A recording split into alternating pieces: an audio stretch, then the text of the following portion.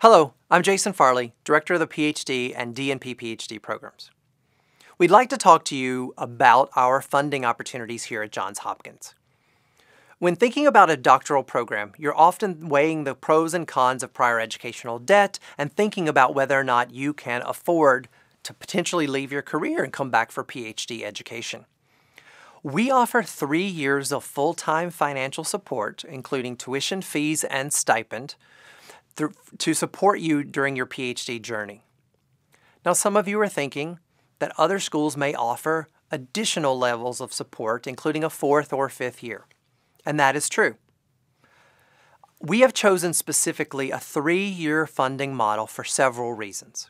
First, we are designing our program to support you to seek and apply for and be successful in obtaining external funding.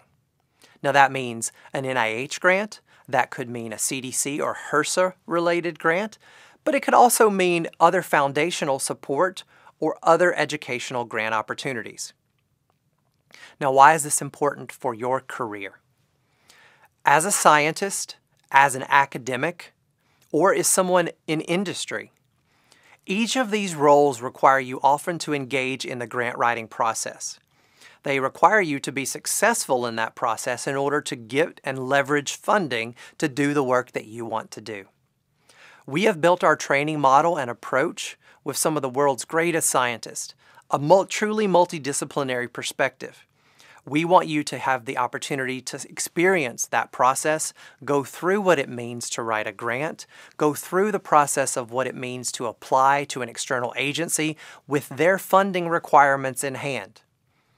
We want you to consider the implications of that grant funding mechanism and its rules and regulations. We do that through a one-on-one mentoring approach with your faculty.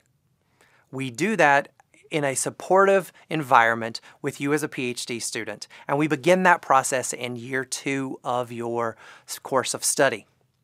This gives you approximately 18 months to find that right grant mechanism, to find that right opportunity, and to be able to apply to multiple different grants or agencies to find funding for years four and five.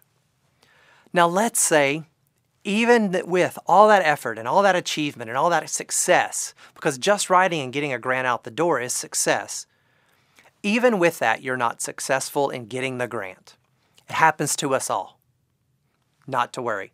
We also have research assistantship, we have graduate teaching assistantships, and we have graduate fellowships that give you opportunities within the school to pay for additional course credits. These also give you opportunities to earn extra income for yourself while you're a PhD student.